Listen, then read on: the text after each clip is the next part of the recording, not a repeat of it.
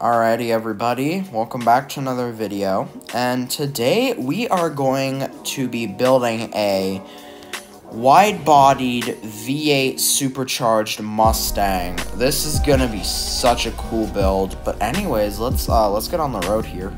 So, we are in our Jeep Grand Cherokee Lardo, I believe is what it's called. This is a really nice car to be honest. Oh, I forgot, it's remote uh, closing door thing.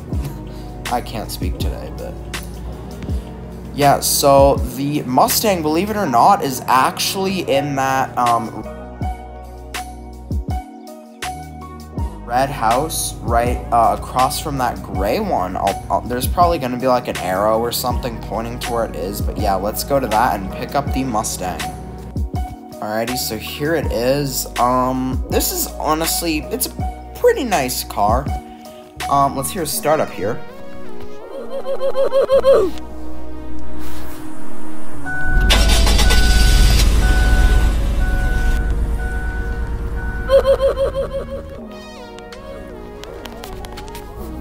Not bad. To be honest, that's not really necessarily terrible, but it's also not really good. Let's let's turn up, turn up the volume here. Alright, so now what we're going to be doing is everything's at Truck Planet, so we're going to just have to build it um, step by step. This is going to be such a cool build once it is done. Let's do a bit of a pull here in the Mustang. Let's feel some of that V6 power. Yeah, there's not a lot. By the way, guys, I'm in my roleplay server. Link in the description. Oh, jeez, dude. Okay. Um, steering on this thing is pretty sensitive. Like, I can see myself easily just wrapping myself around a pole with this car. However, that is because the tires are very worn out, because this car has not...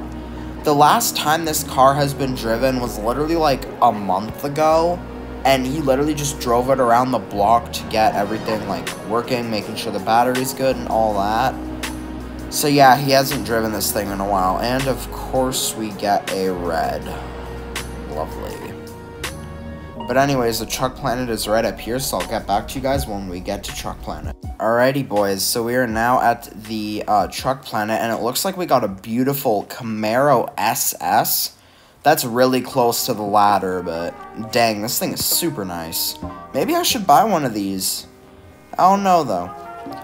So anyways, first what we gotta do is put on the rims, uh, some new uh, some new paint, and the wide body kit, which will take probably about two weeks. So yeah, that's oh geez, that's essentially just like two seconds YouTube time. So let's cut to when we get the wide body.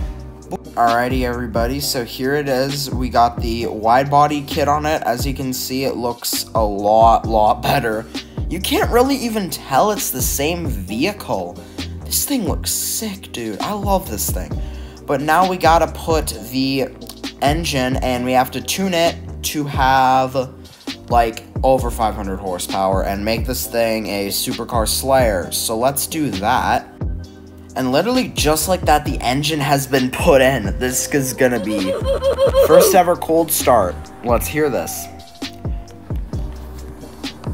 Alright.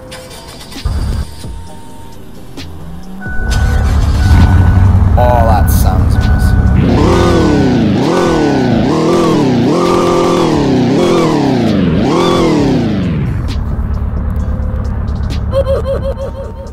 That sounds so sick. We gotta take this thing to the airport and do a top speed run. We just have to.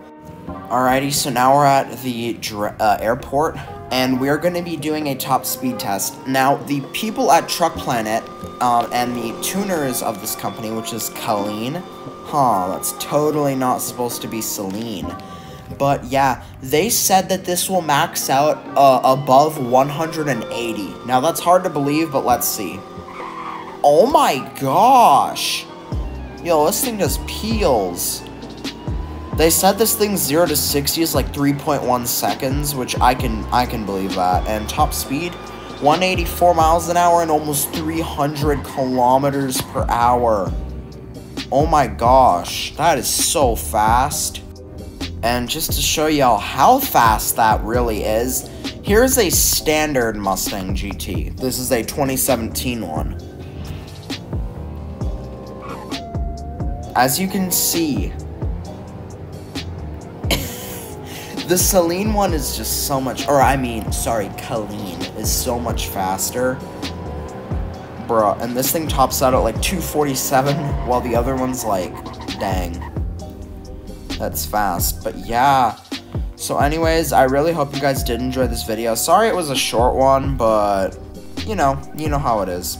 So anyways, guys, uh, I hope you enjoyed, and I'll see you in the next video. Bye-bye.